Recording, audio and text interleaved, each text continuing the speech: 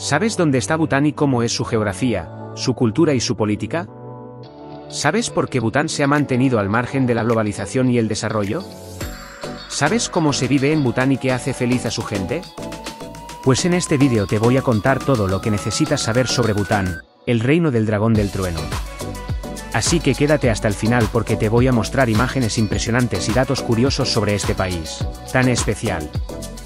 Y si te gusta este tipo de contenido, no olvides suscribirte al canal y activar la campanita para que no te pierdas ningún vídeo. ¿Estás listo? Pues vamos allá. Bután es un país del sur de Asia ubicado en la cordillera del Himalaya y sin salida al mar. Limita al norte con China y al sur con la India. Se trata de una nación regida por una monarquía constitucional, cuyos órganos y sede de gobierno se hallan en la capital, Timbu. Con una superficie de 40.994 kilómetros cuadrados y una población inferior a los 800.000 habitantes, Bután es uno de los países más pequeños y con menos población del planeta.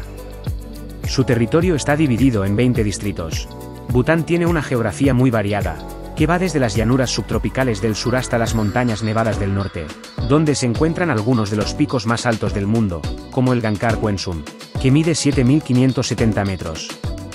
El clima también varía según la altitud, desde el tropical hasta el alpino. Bután tiene una gran biodiversidad, con más del 70% de su superficie cubierta por bosques, donde habitan especies como el leopardo de las nieves, el panda rojo, el tigre o el tiquín, el animal nacional. Bután tiene una cultura muy rica y diversa, basada principalmente en el budismo tántrico, que se introdujo en el siglo VIII por los tibetanos y que influye en todos los aspectos de la vida. El idioma oficial es el zonka, aunque se hablan otras lenguas regionales. La vestimenta tradicional es el go para los hombres y el kira para las mujeres, que deben usar en lugares públicos según un código nacional. La gastronomía se caracteriza por el uso del arroz rojo, el chile y el queso. La música y la danza son expresiones artísticas muy importantes, especialmente durante los festivales religiosos llamados Tsechus. Bután tiene una política muy particular, que se basa en la preservación de su independencia, su identidad y su felicidad.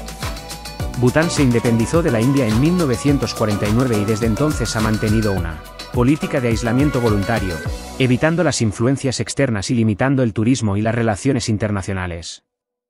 Bután es una monarquía constitucional desde 2008, cuando el rey Jigme Kesar Namgyel Wangchuk introdujo una nueva constitución que estableció un sistema democrático con un parlamento bicameral y un primer ministro elegido por el pueblo. El rey sigue siendo el jefe de Estado y el líder espiritual del país. Bután tiene un concepto único de desarrollo, que se basa en la felicidad nacional bruta, FNB, en lugar del Producto Interno Bruto, PIB. La FNB mide la calidad de vida de los ciudadanos según cuatro pilares, el desarrollo socioeconómico sostenible e igualitario, la preservación y promoción de la cultura, la conservación del medio ambiente y el buen gobierno. Según este indicador, Bután es uno de los países más felices del mundo, aunque también enfrenta desafíos como la pobreza, la educación o la salud. Si te ha gustado, dale a like, comparte y comenta.